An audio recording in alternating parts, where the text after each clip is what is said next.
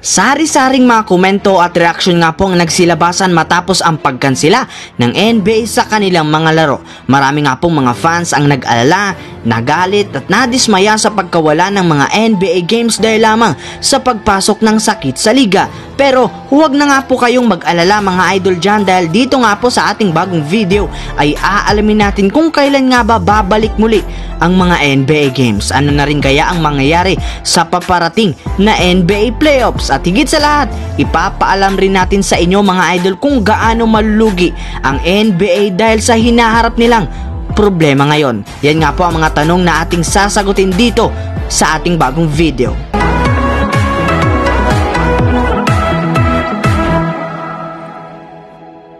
Siyempre, bago nga po tayo mga idol magsimula, ay huwag niyong kalimutang i-follow, i-like ang ating Facebook page, J-Zone TV. Meron din tayong mga NBA balita doon. So mga idol, balik na nga po tayo sa ating pinag-uusapang topic ngayon.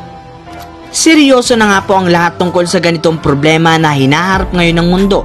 Marami na nga pong mga paaralan, negosyo at sports events ang sinuspinde dahil dito at pinakalitest nga po ang NBA matapos maging positibo ang isa sa mga player ng NBA. Sinuspindi nga po ni NBA Commissioner Adam Silver ang buong 2019 to 2020 NBA season indefinitely. Ibig sabihin, hindi pa nga po nila alam kung kailan nga po maipagpapatuloy ang mga laro ngayong season.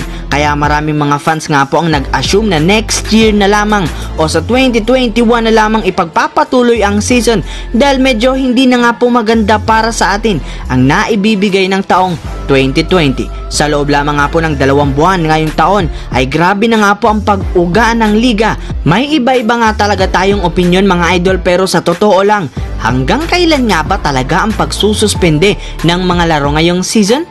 Ayon nga daw po sa inilabas na balita ni Justin Rosso, kahit man nga po indefinite ang suspension o walang saktong oras kung kailan matatapos ang suspension ng mga NBA games, base naman nga daw po sa pagkakasabi sa kanya ng isang official ng liga, hihinto lamang nga po ang operasyon ng NBA ng at least isang buwan dahil sa pagkakaroon nila ng manlalaro na positibo sa nasabing sakit. Uulitin ko lang mga idol, ayon nga daw po sa isang official, hihinto lamang nga po ang laro ng liga ng at least isang buwan. Bale, maaring bumalik pa naman nga po sa normal ang mga NBA games sa darating na Abril kapag humupa na ang lahat. Kung babasehan nga po natin ang mga nangyari, pwede nga pong masunod ngunit magdedepende pa rin nga po yan sa kalagayan at kasiguraduhan ng buong liga. At kapag nagtagumpay nga po ang NBA na malampasan ng ganitong problema, paano naman kaya sila mag adjust Maaring ipagpatuloy nga po nila ang ginagawang mga laro sa regular season o dederecho na sila papuntang NBA playoffs dahil sa baka masuspindi muli ang mga laro.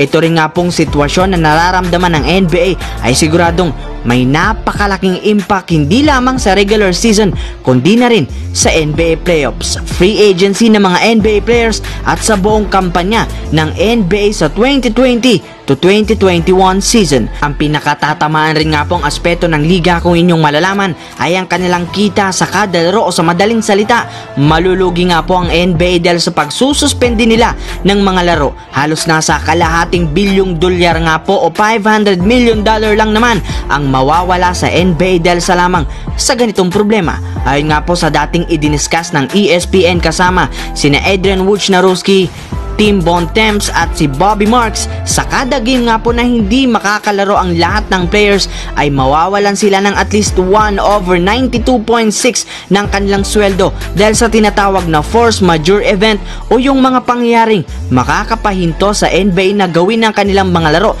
katulad na lang nga po ng kaganapan ngayon. May ilan rin nga pong mga umaasa na mas mapapahaba po muna ang pagsisimula muli ng season ayon sa ating source dahil na rin nga po sa napakalaking cost na makukuha makukuha ng liga at kahit man ibig sabihin nito na siguradong mamumove ang pagsisimula ng susunod na season which is sa 2020 to 2021 NBA season nga po.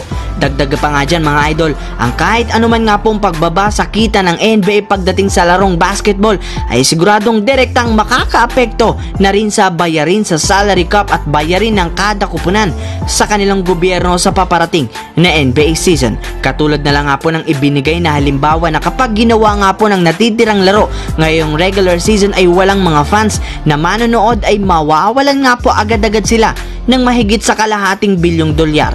Hindi pa nga po dyan kasama mga idol ang paparating na playoffs na maaring mawala ang inaasang bilyones na kita nila sa lahat ng laro ng postseason.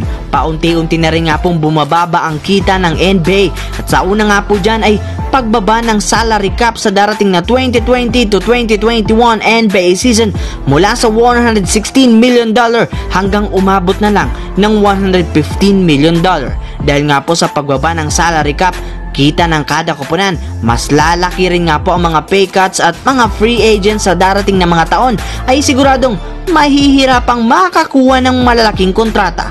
Marahil mahaba-habang taon na nga po ang guguguli ng liga para ma-recover ang ganitong pagkalugi ngunit hanggat nariyan pa naman nga po ang NBA at healthy ang lahat ng mga players at teams walang rason nga po para isipin pa nila ito. Syempre mga idol, madaling makuha nga po yan kung ligtas ang lahat ng tao sa National Basketball Association. So that's it mga idol ang ating pinakabagong update ngayon about sa NBA once again. This is J-Zone TV. Don't forget to subscribe mga idol at pindutin nyo na rin ang notification bell button sa ating channel para lagi kayong ma-notify sa mga videos na ina-upload ko dito. So yun mga idol, maraming maraming salamat po sa panonood ninyo.